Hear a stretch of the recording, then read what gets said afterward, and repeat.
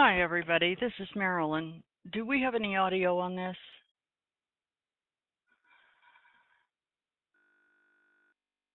Yes, no, maybe, sort of. Okay. Okay, thanks. Thank you.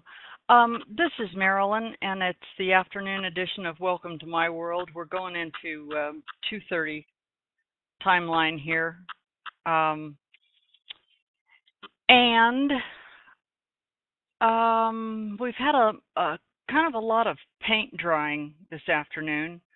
Um, as far as I'm concerned, crude oil, when it gets like this, uh, if you want to scalp this off of uh, some of these zone things, but look at all this these yellow candles in here.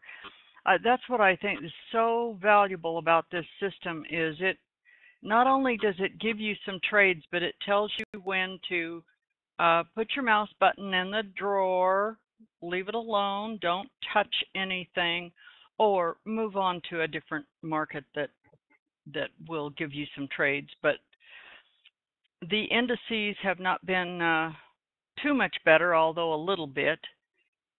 Um, let's see, this is well, the, yeah, it, it's taken a while for some of these trades to develop, and they don't look too promising to me. Um, I think you probably are going to be expecting some of the same tomorrow. Uh, trading in the morning will probably be much better than trading in the afternoon tomorrow. Friday afternoon going into the Christmas holiday is likely to be pretty slow. Tomorrow morning we've got um, Canadian news at 8:30, but nothing for the dollar. That Canadian news can have an effect on crude oil.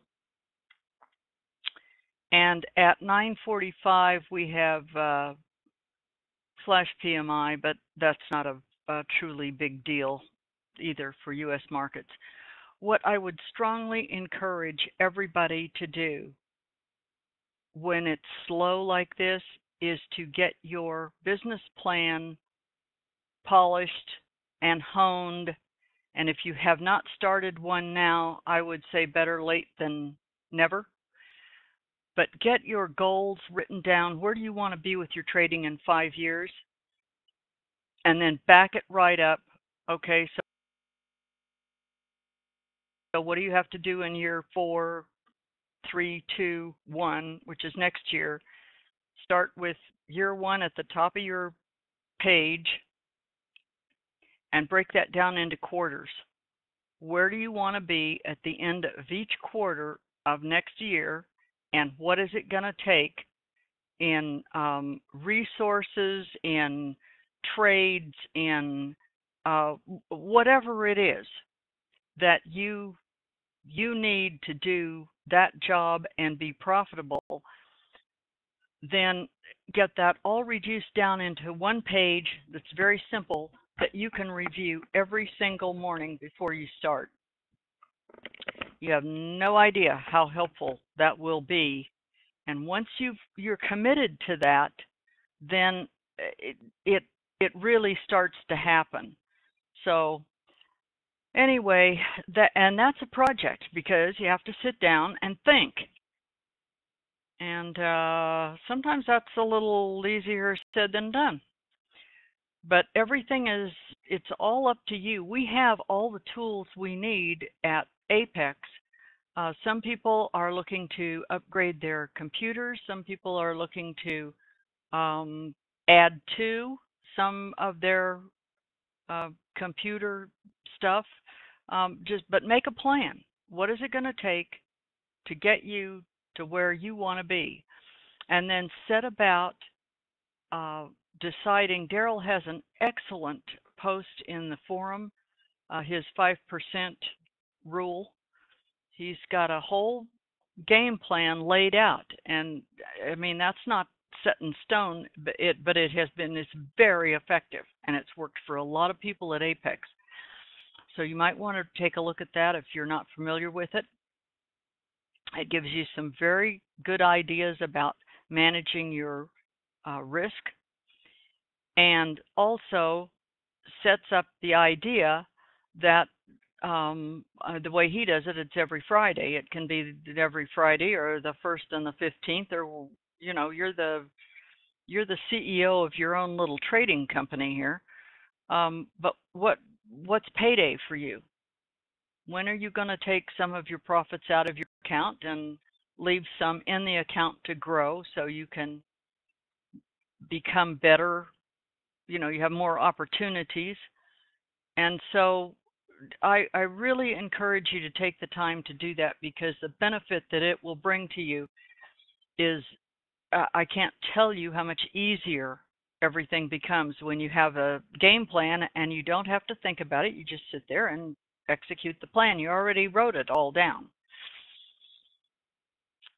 The other thing I would suggest you do and give some real serious consideration over the holidays. Uh, some a lot of people have time off from work and things like that.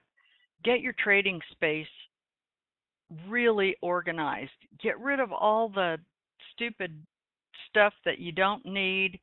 Um, somebody did that. I I talked about this once. I don't know about six months or a year ago or something, and somebody took the time to do that, and then they posted in our room that they had no idea how much more focus they had once they'd done that, and they had no idea how much distraction, uh, little sticky notes all over their computer and little uh, pictures and uh, you know 19 pencils. I mean how, how many how many pencils does it take to write something down?